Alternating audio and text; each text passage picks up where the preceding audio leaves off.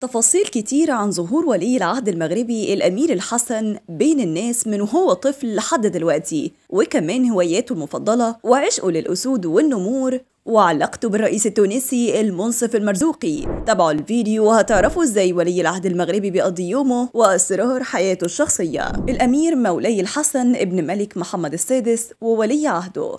يعتبر أصغر ولي عهد في العالم. بدأ رحلة الألف ميل للعرش بخطوات وثقة عشان يكون ملك في المستقبل.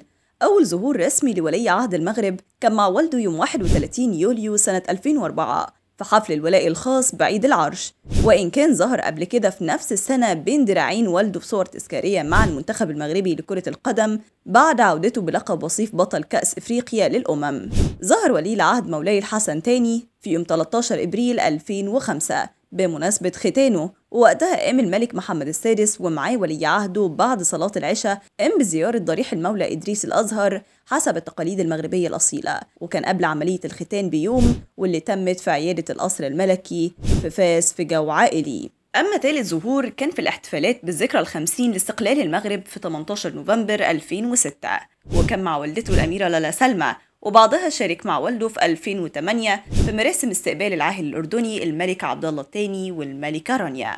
25 أكتوبر 2008 زار الأمير الحسن ملتقى الفرس في دورته الأولى ولف خلال الزيارة مع رفاقه بالمدرسة الأميرية في أرض الملتقى خاصة في فضاء منتجات الصناعة التقليدية الخاصة بالفرس وفضاء قرية المربين. وفي 9 أكتوبر 2008 ظهر الملك محمد السادس ومعاه الأميرة لالا خديجة في المدرسة المولوية في قصر الرباط وشهد الدخول المدرسي الأول لولي العهد وساعتها سلم الملك لوازم مدرسية للأمير ورفاقه في الفصل الدراسي.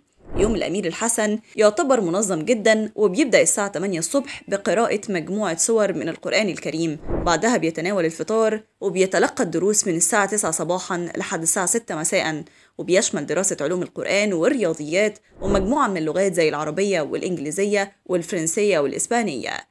بيمارس ولي العهد وزملائه الرياضة البدنية وبيشرف عليها مدربين بينتموا لقوات الدرك الملكي والقوات المسلحة الخاصة وبيكون مجموع ساعات تعليمه في الأسبوع حوالي 45 ساعة. في 14 يونيو 2009 كانت المرة الأولى اللي بيسمع فيها المغاربة الأمير الحسن بيلقي خطاب مع والده خلال حفل نهاية السنة الدراسية بالمدرسة الأميرية بالقصر الملكي في الرباط.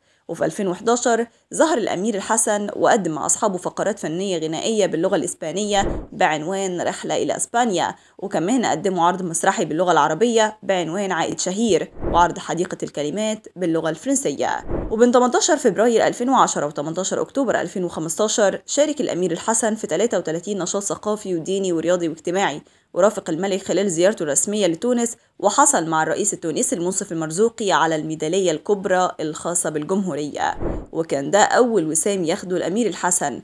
ومن صفات ولي العهد إنه صاحب شخصية مستقلة عن والده وصاحب حيوية كبيرة في الحركة ومتزن ورزين بصورة تفوق سنه خصوصا لما بيظهر مع والده الملك في المناسبات الرسمية.